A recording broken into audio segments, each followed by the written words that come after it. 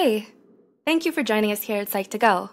Your ongoing help, sharing, and liking has helped Psych2Go continue our mission to make psychology accessible to everyone. References are listed at the end of the video if you want to learn more.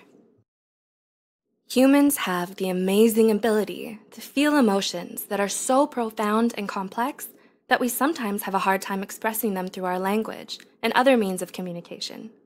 It can be frustrating when you feel something you can't quite understand or explain.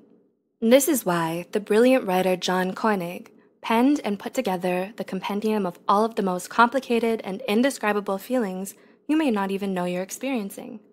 With that said, Listed here are the 12 most common emotions you might feel but can't explain. 1. Sonder. Sonder is defined as the sudden realization that you can never completely know a person. It's when you start to understand that everyone around you has their own story that you might never get to know about. You realize that you can only get to know as much about a person as they'll allow you to. 2. Hanker sore. This is an emotion most of us wouldn't want to admit to feeling.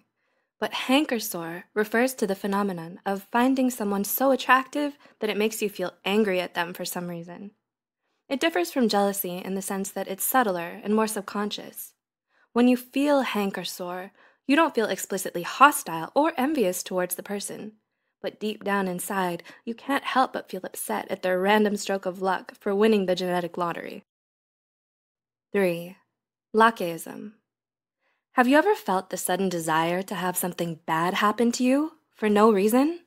Well, that feeling is what we call lachesism. It's that deep, dark impulse most of us have to be struck by tragedy and come out of the other side. It's born out of our innate desire for challenges and growth, which pushes us to test the bounds of our courage and resilience. 4. Ellipsism. Ellipsism is a feeling that people often misinterpret as curiosity or inquisitiveness. But really, it refers to a desire to understand the world and to know what will happen in the future. This is something most scientists, scholars, artists, and inventors can probably relate to, as many of them have a hard time coming to terms with the fact that they might never get to see how history will turn out, how they'll be remembered, or what legacy they may leave behind. 5 and please bear with me as I try to pronounce this. Mauerbauer Traurigkeit. Mauerbauer Traurigkeit is defined as the sudden feeling of wanting to push people away and put your defenses back up. It often happens when we let our insecurities tell us we're not good enough and feel afraid that if other people saw us for who we really were, they'd reject us. 6. Gnossienne. Similar to Sonder is Gnossienne, which is the feeling you get when you realize that you don't actually know someone as well as you thought you did. It's the realization that even your closest family and friends have a part of themselves that they hide from everyone else, a secret inner world that only they will ever know. 7. Liberosis.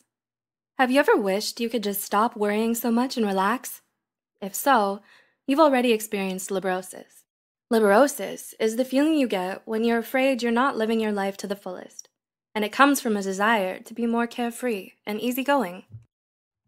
8. Monachopsis. Monachopsis means feeling out of place for some reason. It can happen even when you're someplace familiar or surrounded by your friends and family. You don't understand it, but you just can't shake off the feeling that you don't belong here, or you just don't fit in with everyone else. That's monachopsis. 9. Onism. Next is onism, which refers to the awareness of how little of the world you will ever be able to experience. Those of us who love to travel and go on adventures may sometimes feel wistful over the realization that there are still so many beautiful places out there we might never get to see. Onism represents those unfulfilled desires and goals we fear we might never achieve before we die. 10. Nighthawk. This is what you call that feeling you get when you can't sleep for some reason.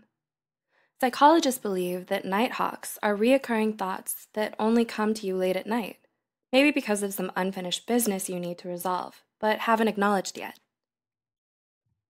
11. Catoptric tristesse.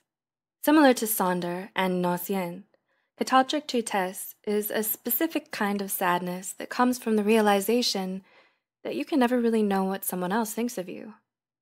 Wanting the approval and acceptance of others is something all of us feel burdened by, which is probably why we all struggle with catoptric tristesse from time to time as well. 12. Jouska. Finally, Jouska is defined as the feeling of wanting to have a conversation with someone in your head. While it may sound somewhat strange, it's something most people have experienced a number of times in their lives. Did you ever want to get something off your chest but just didn't have the courage to say it? Or is there something you wanted to let someone know but never got the chance to? That's Jouska. And it's a feeling you get when you want to give yourself closure for something that was never resolved in your life. Have you felt any of these? Does this give you a little piece to an emotion you've experienced? Do you have any other word discoveries to share? Let us know in the comments below. Don't forget to like this video and share it with someone who would be able to relate. Be sure to subscribe to Psych2Go for more psychology content, and as always, thanks for watching.